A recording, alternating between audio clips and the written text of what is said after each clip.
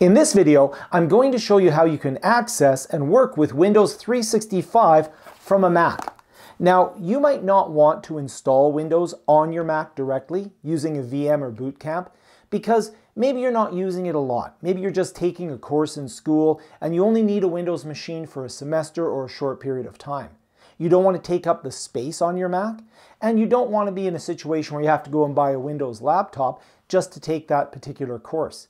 Well, the good news is that Microsoft now has Windows 365. It's very easy to set up and use, and I'm going to show you how to access it using your Mac computer. I have a lot of students that have a Mac, but they need to study something that only runs in Windows, like a data analytics service or something, Power BI, something along those lines. And let's have a look at how we can do that. Before I can use Windows 365, I'm going to have to create myself a Windows 365 system. So I'm going to go into Safari and I'm going to go to windows365.microsoft.com. Once I log in and authenticate, any machines that I've already created will appear here and I can go in and I can create more cloud PCs. When I click to create more cloud PCs, that'll take me to my administration center where I can purchase services.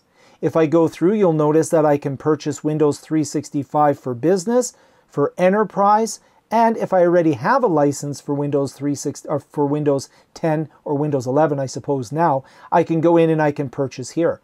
When I go into the details, I would go in, choose what I'm looking for in terms of the power. So for example, if I want something like two virtual CPUs with uh, 64 gigs of RAM, let's say I want to go to 128, I can choose the quantity in here, and you'll notice that this would cost me $44.80 per month for this particular machine. I have to confirm that I actually have that license, and then I can purchase it. I already have a machine, so I'm not going to repurchase another machine.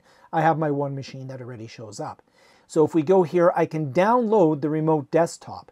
But in addition to being able to download the remote desktop to access the machine, I also have this very important button that says Get Subscription URL. This URL is what I'm going to use in order to find the machines I just created.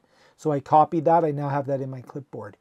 Going back home, I can also go in and I can access it through the browser. So very simply, I can go in, click Open in Browser. I can allow it to access local resources such as clipboard, microphone, printer. Once I authenticate, whatever I was doing on the machine will automatically appear here within my browser. I can even go and make it full screen. So now I've got my Windows 10 environment here. Whatever I was doing when I last left off will be right there. And I can go in and take a look at the environment. I won't save the blank document there. And I can go in and start working with Windows 10 in a Mac environment.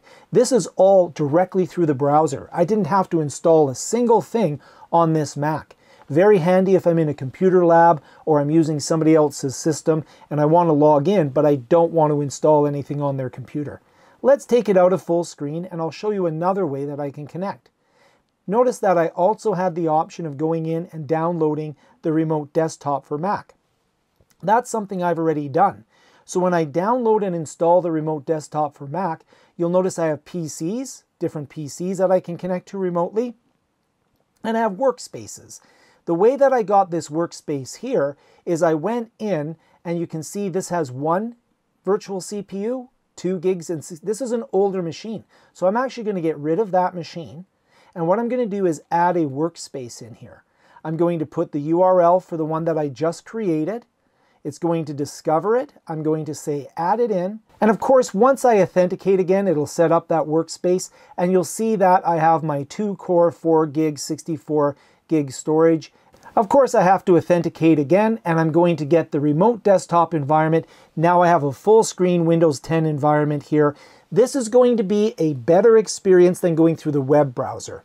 When I go through here, I can actually use things like the webcam that's on my Mac, and I can connect to this environment. I hope this video was useful for you, and if it was, consider hitting the like button and subscribing for more tips on how to use technology to teach and learn better. Thanks for watching.